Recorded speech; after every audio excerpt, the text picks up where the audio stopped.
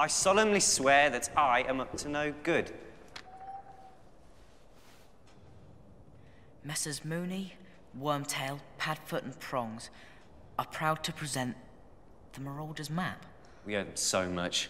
Everybody in the analytics team, James Phelps here, also known as Fred Weasley. And guys, on behalf of everybody at Arrow Senior Living, I want to say a huge, huge thank you, especially today being Employee Appreciation Day. You guys have worked so hard and everybody is so thankful for all the amazing work that you've been doing. I, I know that you've been help tracking and managing and monitoring all the COVID statistics to make sure that all the residents and all the families of the residents remain safe and very up to date with everything that's going on. So thank you so, so much for all your hard work.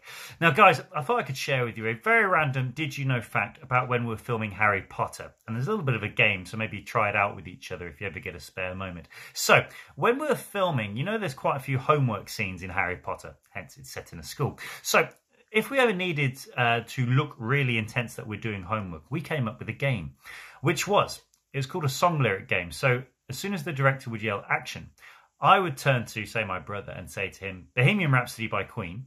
So then, for that whole scene, he would have to then write down in order the song lyrics for the song.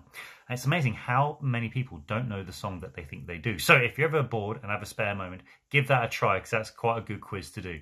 But anyway, guys, thank you again for all your hard work. I can't imagine how difficult it has been, but just know that all your amazing work has helped keep so many people safe and well during this whole crazy time. Thanks again. Keep up the good work. Keep being safe.